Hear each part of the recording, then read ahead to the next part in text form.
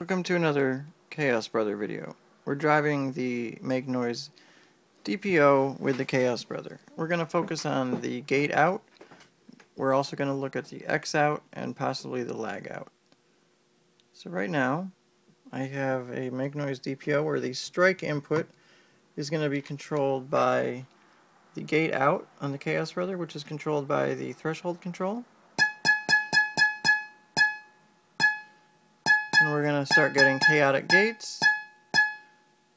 And now I'm going to start bringing up the exponential CV, which is coming from the Chaos Brother.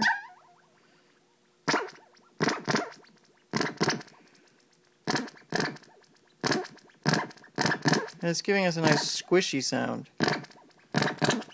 Chaos Brother is very good at that kind of stuff.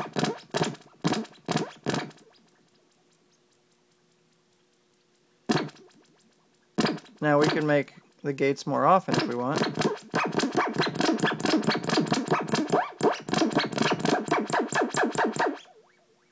Or slower.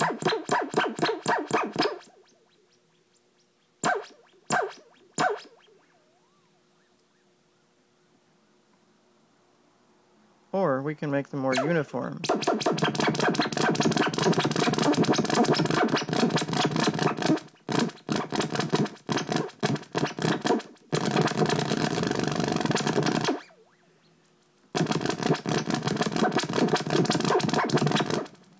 Let's try taking the Y out.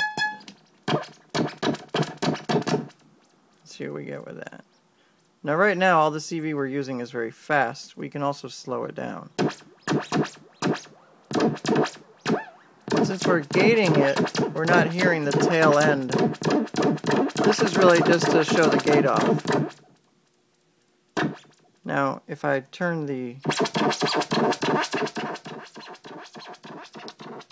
if I turn this knob up on the DPO, we can hear it the whole time.